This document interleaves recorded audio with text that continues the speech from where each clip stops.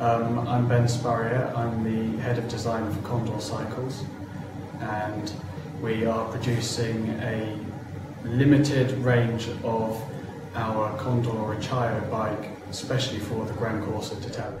We initially ran the design around a, a carbon frame, but felt that the, the use of the steel bike felt more at home with this project. It was going to be uh, a bike that could be either auctioned or won as a prize.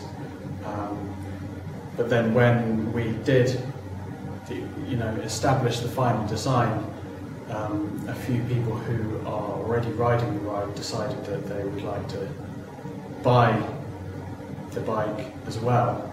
Um, so we've upped our number from three to a limited range of 10 bikes. All of the bikes are handmade in Italy and since we moved production out of the UK, it's been in Italy for the last 20 or so years.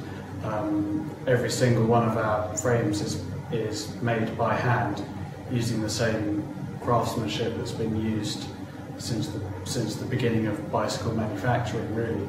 Um,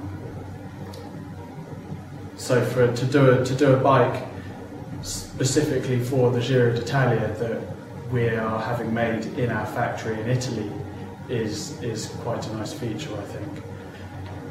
It's obviously a great opportunity for Condor Cycles to contribute and support the prostate cancer charity um, and we're very happy to be able to do so through our own bicycles.